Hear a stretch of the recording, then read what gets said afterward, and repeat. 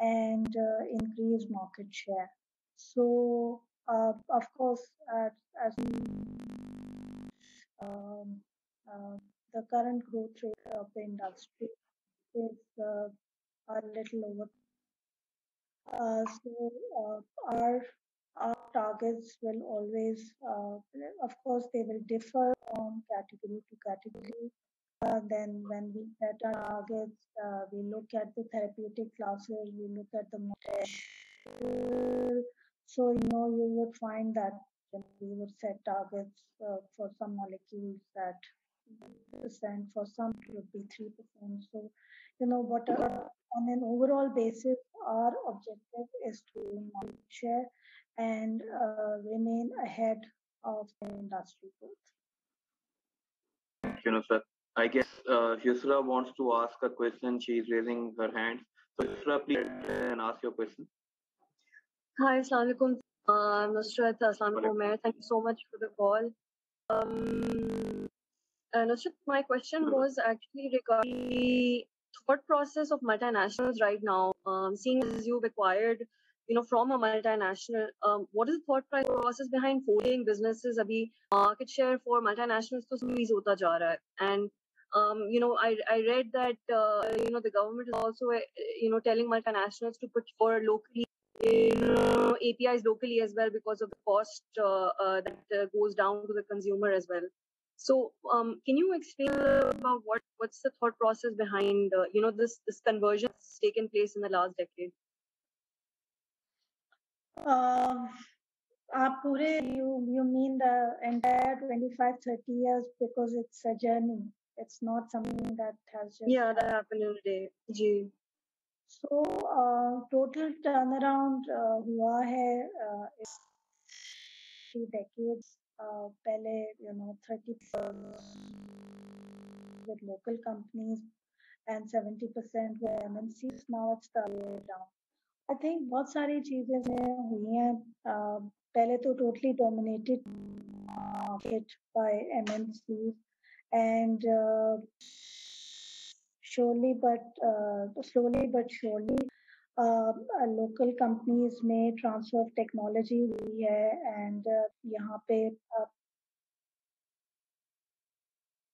काम किया in the sense के जो ज़रा यूनिलैटरल किस्म की प्राइसेस होती थी क्योंकि रेफरेंस प्राइसिंग मॉडल नहीं होती या नो चॉइस पर से नहीं होती थी। लेकिन लोकल कंपनीज़ आगे बढ़ी हैं मैन्युफैक्चरिंग प्लांट सेटअप किए हैं तो with the course of the last two decades DRAP ने भी या मिनिस्ट्री ऑफ़ हेल्थ जो पहले कहा जाता था उससे उन्होंने इंडिया और बांग्लादेश से रेफरेंस प्राइस मॉडल इंट्रोड्यूस कर दिया है।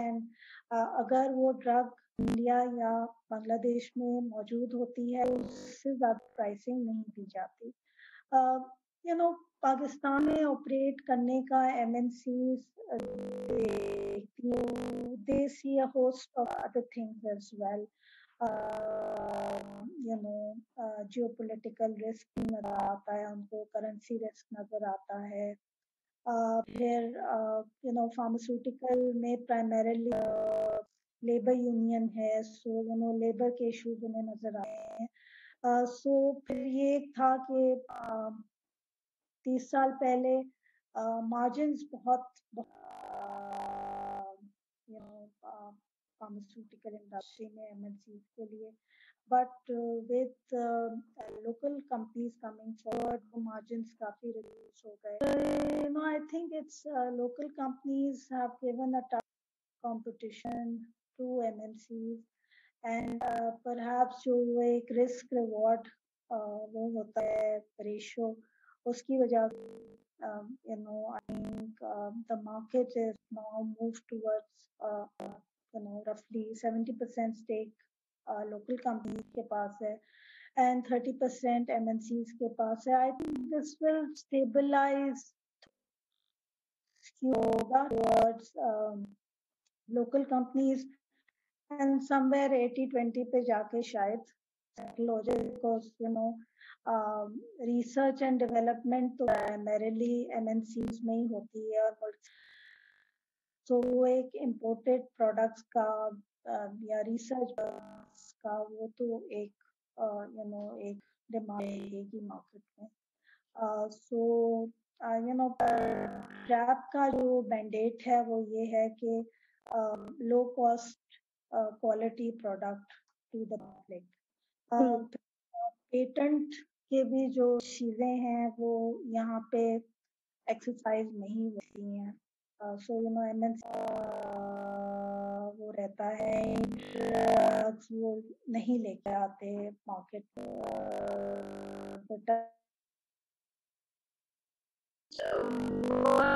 one question which which is not exactly related to this particular um uh, you know call it's it's regarding export actually and you know the um you know noise that's surrounding uh, the region and since you you know towards exports how do you see this working out particularly with what's happening in afghanistan and so इसमें देखिए हमने जो है इस पे काफ़ी extensive शुरू कर दिया है कुछ गवर्नमेंट की तरफ़ से भी इंसेंटिव्स हैं एक्सपोर्ट पे uh, I think that is one segment uh, from what we see certification होती हैं uh, वो आपको प्लांट लेवल पे क्वालिफिकेशन होती है W H O pre qualification होती है। अगर वो आप अपने बहुत सारी कंट्रीज़ हैं जिनकी मार्केट्स आपके लिए open so that is something that we have have started working on and uh, um, I do agree that uh, you know ठीक है domestic is attractive to 220 million की population है but uh, having said that I think UK एक uh, अपने raw materials के लिए एक import dependent market है तो उस रिस्क को मिटिगेट करने के लिए uh, पे फोकस करना बहुत ज़रूरी है एंड आई थिंक पोटेंशियल है pharmaceutical to uh, increase our export and uh, have already started work on that but थोड़ा gestation period उसका थो, थोड़ा सा लंबा है तीन से चार साल का अर्सा उसमें लगेगा got it thanks always a pleasure thank you thank you Thank you, Yusra. Thank you. Uh, let's take um, the chat box. Then I would allow you to ask your question. Uh, there's a question regarding EAS of the transaction on a st standalone basis. So to answer it, uh, there would be an addition of 1.5 in in our books as regards to EPS. yeah on on on 12 month basis very right sir thank you we have is uh, what were your consideration regarding impairment in relation to Asian post covid environment? I didn't quite get the question. So uh, i try to read it once again. It says mr says that what were your considerations regarding impairment in relation to acquisition? Um, Mohammed, can you please clarify a little what, what you exactly mean by it? Covid देखा था so explain कुछ क्या पूछना चाह रहे हैं didn't quite to ask uh, uh, excuse me can i add for this question sure sure Uh, basically, what I, I mean, uh, I think this person is a pass Impairment because आपने जो transaction finalise किया pre COVID पे किया तो transaction आके आपका incorporate आया तो क्या इसमें इम्पेयरमेंट हो गई है? और ऐसा होना नहीं चाहिए इसका पॉजिटिव इम्पैक्ट होना चाहिए बिकॉज़ आप कोविड के साथ आप मजीद अपनी सेल को देख रहे होगे. जब देखा था तो हमने 2019 के नंबर्स की इस पे इस ट्रांजैक्शन लॉक किया था। सो यू नो बाद ठीक है जो वो एक कोविड इसकी अपनी जो एक ब्रांड इक्विटी है या उसके जो यूज़र्स हैं कोविड को हटा के भी वो अपनी जगह पे हैं। एंड आई सेड कि you know COVID is like उसको कहते हैं ना अल्लाह ना करे हम ऐसे तो नहीं बोलते because you know I think हम सब किसी किसी की ना किसी फैमिली को जानते हैं।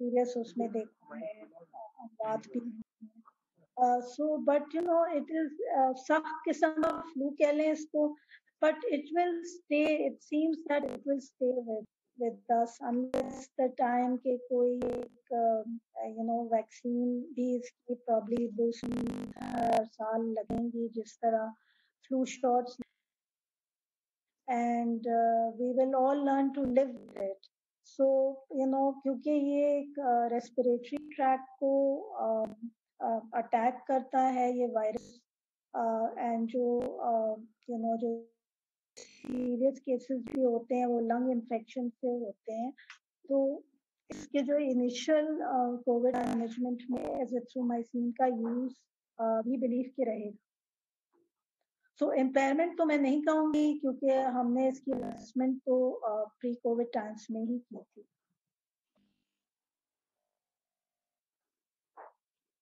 Thank you, Nusrat.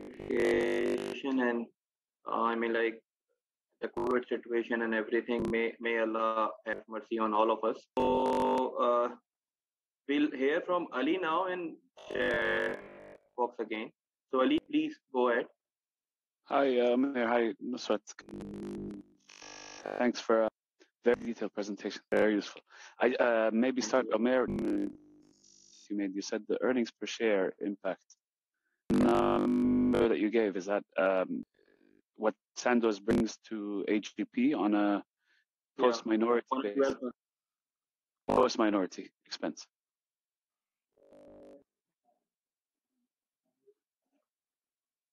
Ali, Ali, can you please repeat?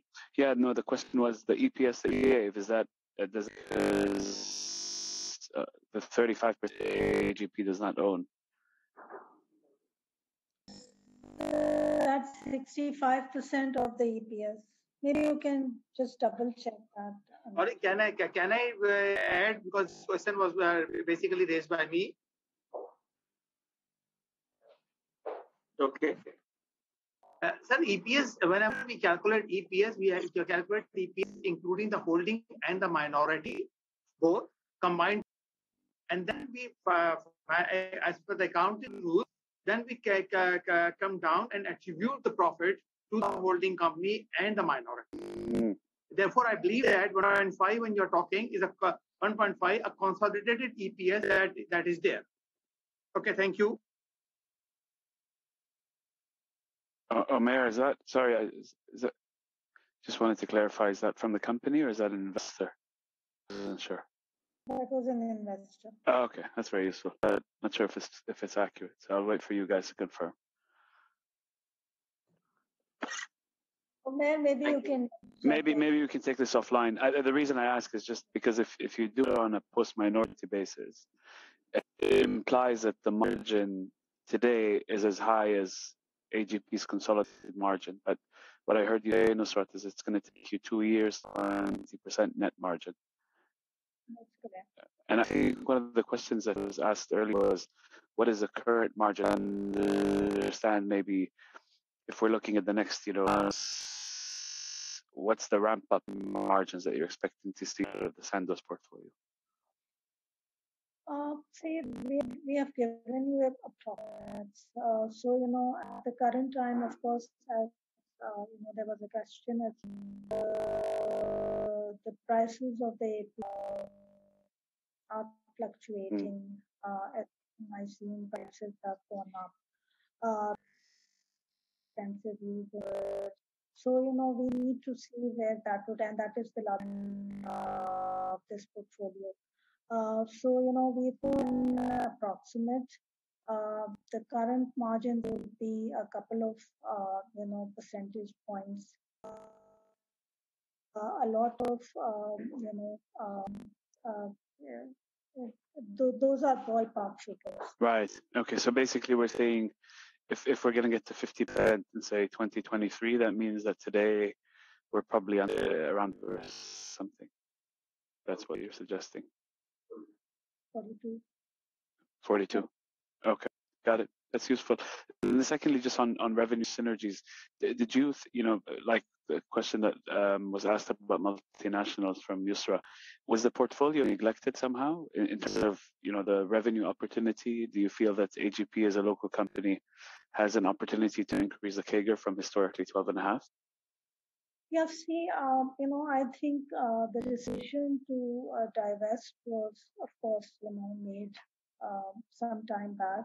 And uh, I'm sure you would uh, appreciate and understand that once a decision is made, uh, then the spending in terms of hmm. resources, in terms of manpower, that is either reduced or put, you know, put on the back burner.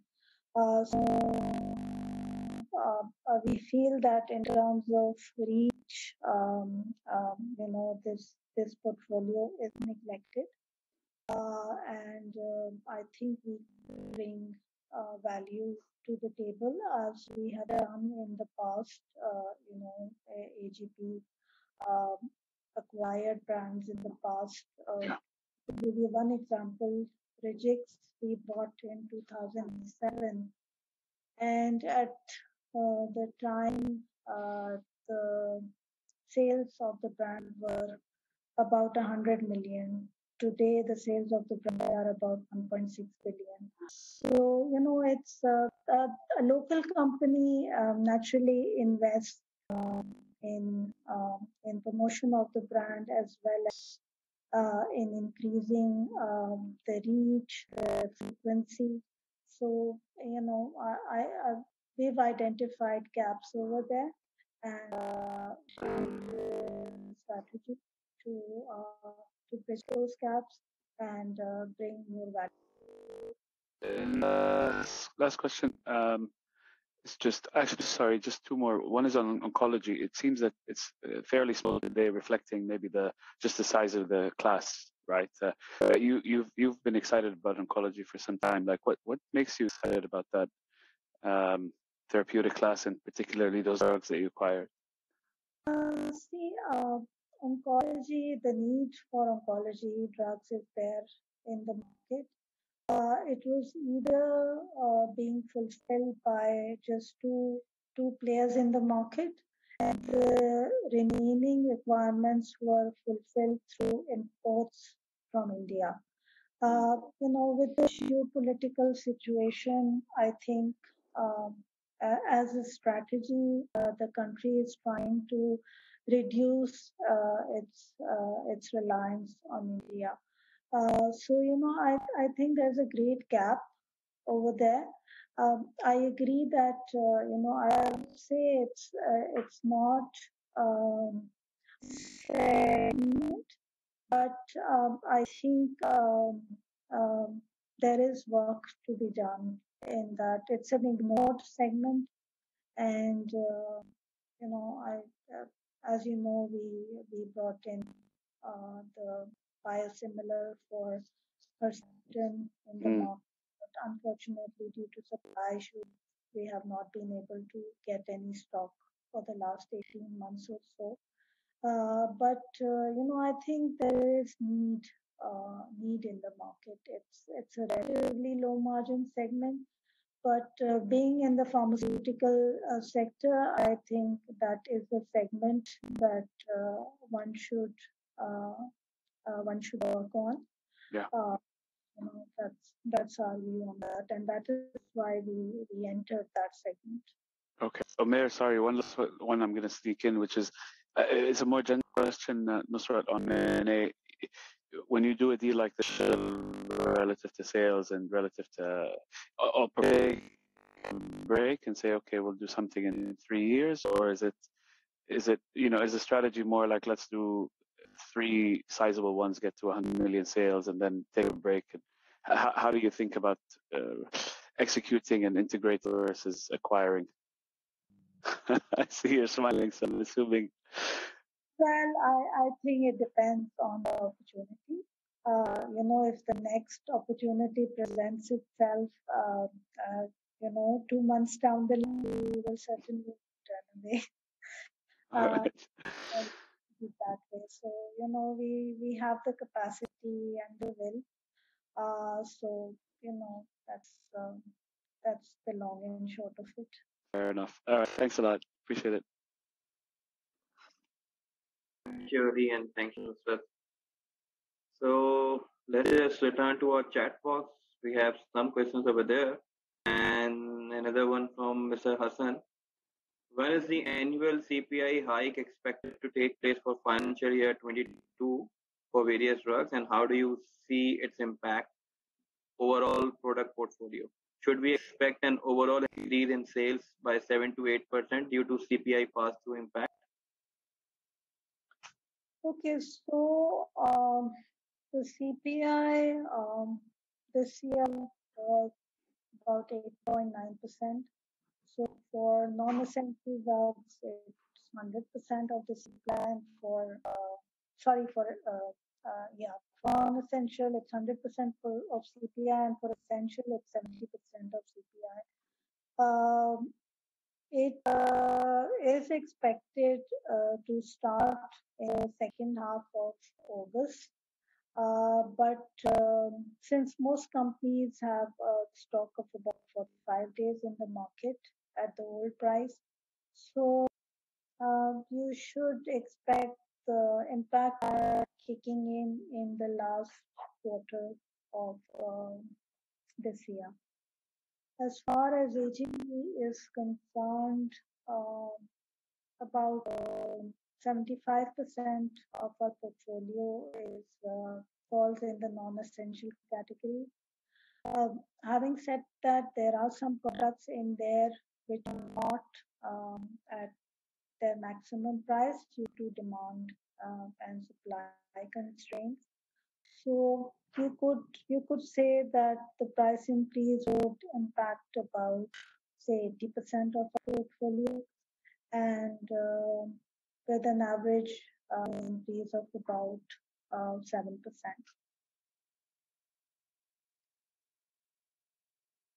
Thank you. Uh, the next we have is from Mr. Shabiul Hasnan, and he wants to ask what percentage of sales is tender sales and what percentage is retail sales. Also, please highlight top drugs which are sold on tender. And you also mentioned decline in the first quarter of calendar year 2021 on year-on-year basis due to decrease in tender sales. Can you please give us some outlook on this? Okay, so primarily um, uh, hepatology products were going into tender sales apart from hmm? okay. Are you asking about agp or are you asking about sandoz? I i, I assume it's it's for sandoz business. Sandoz okay. There no um, you know almost negligible uh, tender sales in uh, sandoz although oncology portfolio is primarily, uh, you know, uh, essentially goes to institutions. Mm-hmm. Okay. But but they away from tender sales for the last uh, two years. But oncology essentially, you know, they it's it's goes to the institution. The next we have is from Uzair Zubair, and he wants to know from which date Sandoz has been consolidated in your accounts. So if you allow me, I would like to answer this. That's from be consolidated from July 30th, sorry. The next we have is from Mr. Taha Javed, and he wants to know what are you expecting annual price revision? I think I already Yeah, we, we answered that. We can move to the next one. Uh, you have mentioned that you plan to move to production on your own facilities. Since in terms of sales, it's around 50% increment to your existing sales? Do you have the capacity available, or would it be would it require capex or tolling in near term? Okay, so in some dosage we do have the capacity, and uh, in some uh, we will need capex investment.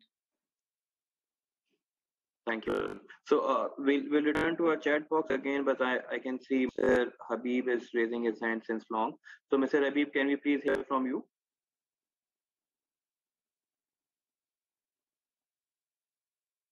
Habib Saab, are you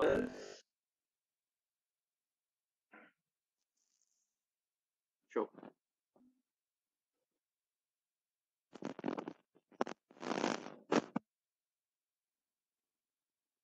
Sir, we cannot hear you.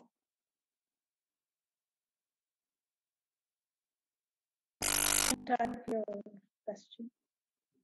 Okay, so let's move to the other one. Uh, one now we have a to our share price has fallen by uh, going to see increase in share price and will also uh, new entries in market are affecting the share price.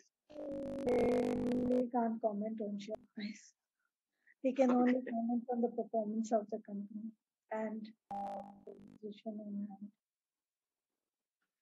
Mm, we have a next question from uh, and he wants to know you have 80 and add 22 more how can so right. I, 22. yeah yeah so Hanif sir will be a total portfolio of around 80 products and uh, mentioned we are also hiring sales and marketing team so we have the capacity and inshallah that would be managed pretty well. Uh, we from Mr. Hasib Khan, how much contribution did Sputnik V make to overall profitability in the period? Not much. Moving on, moving on to the next one, we have from Abdullah. Can you please share details about recent nutraceutical plant what is its capacity, how much additional revenue and profit you can expect from the plant. Okay, so um, the nutraceutical plant uh, went into commercial operations and quarter of 2020. Uh, in the initial phase, we um, uh, transferred the six uh, nutraceutical products that being told uh, from third party.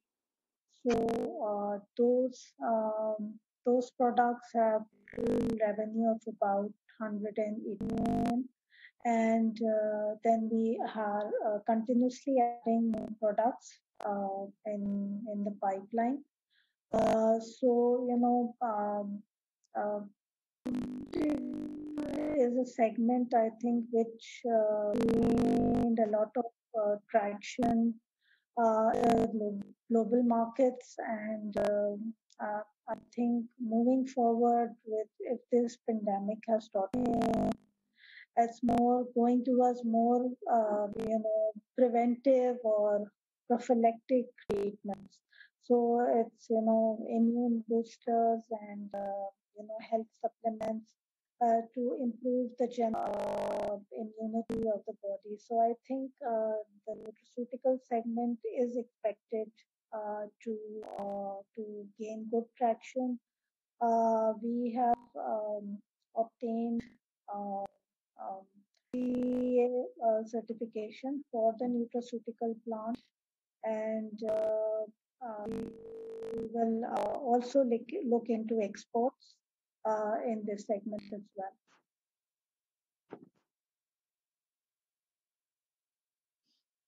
Thank you, Nusrat.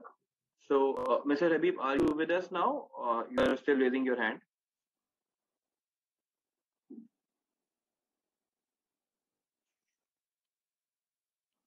I guess, Habib, you are having some some troubles. We cannot hear you. So, if I can request you to please write your question in the chat box. Okay and uh, going uh, to the to our chat box once again so we have a comment from Mohammed I think instead of acquiring brands, why not considering to we do that as well. Like, you know, Osnate uh, is our homegrown brand, so is Enophrotam, um, Primoral, Rubicet. So we do both. Uh, I think we we do uh, what uh, you know we try to add value for the shareholders, and if you are homegrown brands or acquired brands, we try to do a combination. Thank you, Nusrat. Then, um, as well, given the focus of the government on health and rollout of health cards has been on the agenda of the government, do you expect pharma sector growth to surpass the historical growth rate going forward? Uh, I think double-digit growth will continue. Uh, you know, it's already 12, 13 percent uh, higher than uh, when you compare to developed markets. In the same trend, uh, give or take a few percentage points, that would continue. Then Mohammed wants to know essential to non post integration of Sandoz portfolio. I don't have a ready figure on hand, so we'll have to get back on that. Thank you. Mohammed Iqbal wants to know any price increase expected from DRAP. I think we have discussed about it. Uh, then we have a question Sab here. You mentioned that the transfer of market authorization over the next 12 to 18 months. Please share detail as how to man how as to how you manage during the set period. During the during set period. okay. So during uh, time we have signed an agreement uh, from Novartis Pakistan, and uh, we will continue to supply uh, these products in this interim period as at an agreement. Nusrat. Then Muhammad Ahmed wants to GP, I believe, were products in pipeline, excluding Sandoz brands. Uh, seeing new products are uh, something that we um, you know keep keep close to our heart due to competition. So you know you will know once they are launched. But we have a robust pipeline, and uh, we will roll it out.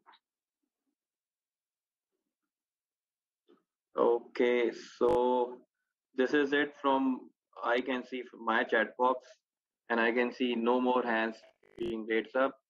So, uh, any any questions? Uh, further questions from the floor?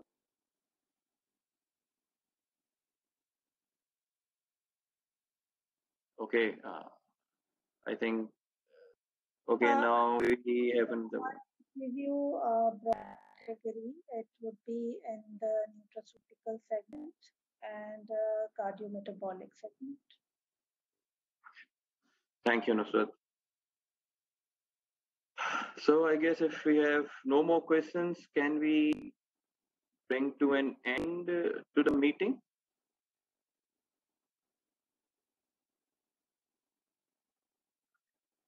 So, uh, Nusrat, uh, any closing remarks uh, no, just that we are extremely excited uh, about the new acquisition. I think uh, this will uh, um, change the entire complexion of AGP and um, give us, um, uh, you know, increase our uh, foothold anti-infective segment. so, you know, I think that there's a lot that we can do. Uh, we have already identified the gaps. Uh, so um, I think we uh, we got the deal at a good price, and um, uh, you know I think uh, time will tell. And but we are excited and um, very confident that this deal will uh, bring value to the company and its shareholders. Thank you, Nusrat. Thank you for the wonderful closure. And Uh, I uh, want to say something. Hello, hello. I want to say something. Ji, Ji Uh, Hanif first sir, of please go ahead. uh, hope you are all. बहुत बहुत शुक्रिया अनीफ साहब जजाक अल्लाह thank you and on on behalf of management Congratulations, 22 grants of and we received very handsome uh, by Nusrat. Uh, very, I hope uh, more opportunity to the shareholders and give more profitability, inshallah. Thank you. Thank you for your encouragement. Thank you. thank you and on behalf of the regards to all the participants over here your association has always been valued